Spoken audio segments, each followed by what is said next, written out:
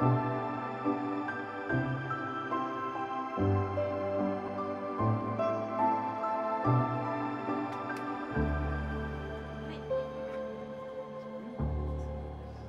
de flesta patienter som har en kronisk lymfatisk leukemi eller får den diagnosen, de har inga symptom vid diagnostillfället. Utan de följs helt enkelt hos sin doktor med regelbundna blodkontroller och man frågar efter symptom. Och det är ovanligt att en cancersjukdom följs utan behandling. Så det kan vara lite svårt för patienterna att acceptera i början. Men vi vet att det är ingen idé att börja behandling för tidigt. Så när väl olika symptom uppstår, då tar man en noggrann diskussion och också tittar på vilken typ av sjukdom det är, vilken kronisk lymfatisk leukemi. Jag sa ju tidigare att det fanns en del olika riskgrupper och man anpassar sin behandling lite grann efter det. Jo, när man väljer behandling så måste man förstås också ta hänsyn till hur patienten mår allmänt. Och då kan ålder förstås ha betydelse. Eh, biologisk ålder är viktigare än den kronologiska åldern. Patienten kan vara en vital 80-åring men det kan också vara en 80-åring som har många andra sjukdomar. Man kan ha högt blodtryck, man kan ha diabetes, man kan ha olika neurologiska sjukdomar och allt det måste vi ta hänsyn till. En patient som behöver behandling då, på grund av olika symptom som vi har pratat om får ofta en kombination av två olika cellgifter. Oftast kan man ge dem i tablettform. Och det ges kanske var tredje till var fjärde vecka under fyra till sex behandlingar. Så det kan ta upp till fyra till sex månader en sån här behandling. Och med den behandlingen blir de flesta patienter helt symptomfria sista åren så har man också lagt till till den här cellgiftstablettbehandlingen en antikropp. Och det har blivit en väldigt bra kombinationsbehandling för de flesta patienter. Men det är lite ovanligare att de äldre över 70 år tål den behandlingen. Och det innebär att patienten förutom tabletterna eller den intravenösa eller det man får via blodet får ytterligare en intravenös behandling och det är en antikropp. Antikroppar, det är någonting som vi alla producerar för att motverka infektioner.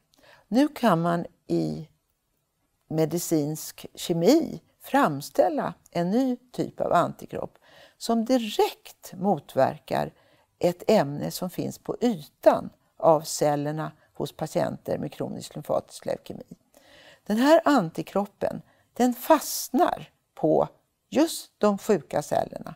Och när de fastnar där så kan också kroppens normala immunsystem binda till antikroppen och på så sätt så får man en dödssignal till tumörcellen. Och i kombination med de här andra läkemedlen jag pratade om, cytostatika, så kommer en stor andel av de här tumörcellerna att dö mycket effektivt.